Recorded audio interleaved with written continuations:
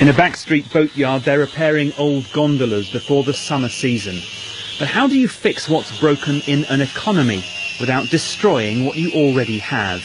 So far, says Fabrizio Barca, one of Mr Monti's technocrat ministers, most people are prepared to give the government the benefit of the doubt. It has been clear to the people that privileges have been attacked. Even the reform of the pension system, which has lengthened the working life of about five years, everybody has known that everybody else was being treated in the same way.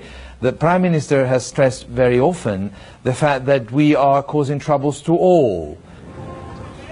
But as Venice and its long history will testify, change comes slowly.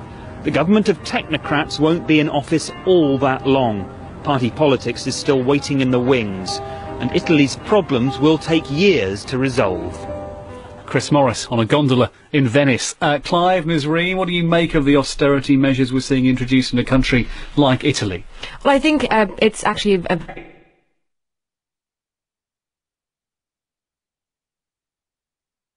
preemptively before it's too late. Um, and I think that's possibly a mature thing to do, and one of the things that Berlusconi was never going to do. Hmm. We ain't seen nothing yet, have we, when it comes no. to these sort of cuts? But I'm always fascinated by figures. Six hundred million pounds to do barriers in Venice. Is that a lot of money, or is that not very much money? Well, the figures are so beyond understanding by ordinary people. You know. Well, if you if you compare that, if you just take the figure of the Greek uh, bailout, which is 150 billion, yeah. that will give you some kind of. So 600 million is neither here nor there. It's hardly worth, hardly worth noting down. Okay, so, uh, Nesrine Malik from the, who works in the City of London says 600 million loose change. uh, Nesrine is with us, Clive Anderson, a broadcaster in the UK, with me as well. It's the World Today from the BBC World Service, and the news summary is coming up for you.